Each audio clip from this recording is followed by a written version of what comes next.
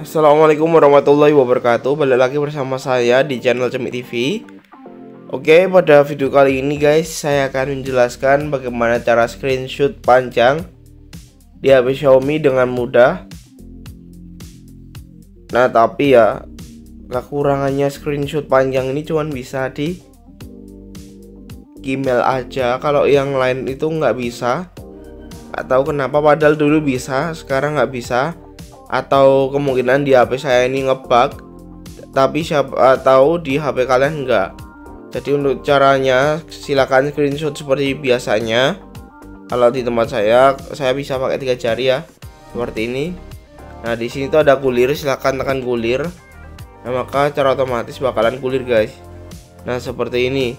Nah kalau sudah selesai silakan pilih aja selesai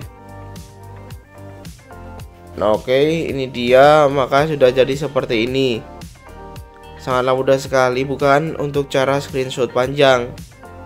Nah di sini misalnya saya pengen uh, buka screenshotnya uh, screenshotannya di uh, Google ya seperti ini ya. Nah ini nggak bisa ya. Saya udah cari-cari tadi dulu tuh bisa. Makanya saya cari saya searching.